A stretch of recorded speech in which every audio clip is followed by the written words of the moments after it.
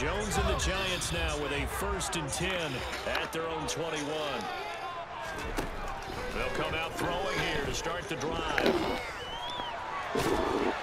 And he'll go down at the 26 following a gain of six. You know what I like about that play? He didn't try to do too much on first down. He took what the defense gave it, put together a solid game to bring up second and manageable.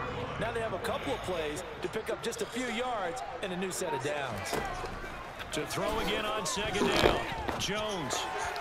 And he rifles one incomplete. Charles already trailing by touchdown early. This offense, how imperative is it for them to get points out of this drive? Well, they feel like they have to go ahead and match because of what was already on the board against their defense.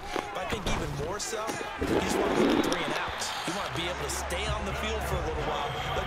catch their breath a little bit, even if you don't score any points. From the 32 now, here's first and 10.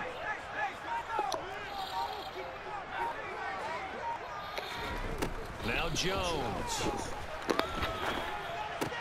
Again, he finds more. And they get him down, but not before he takes it across the 40-yard line. A couple of first downs has the football position at the 43 as they come up first and 10. Throwing Jones. To the right side, he's got more complete.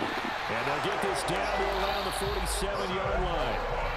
Well, that's not just his first, not his second, already his third completion here on the opening drive. And I, I think it's safe to say that getting him the ball in this game, one of their top priorities. And the top priority for the defense has got to be finding ways to cover him. And I don't think you can have one basic coverage to get it done. You have to throw a number of coverages at him, make him think as he's running downfield, and hope you can create a little bit of havoc.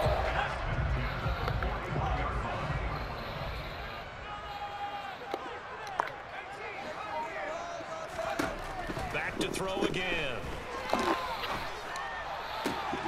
This is brought in by Casper.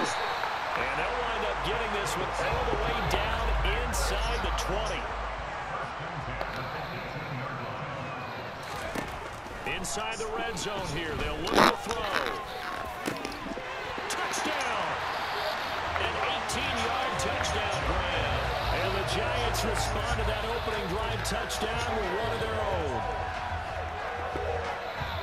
But Charles, here in their opening series, they said they had certain plays scripted for certain players. That looked like a well-designed play to get one of their top targets.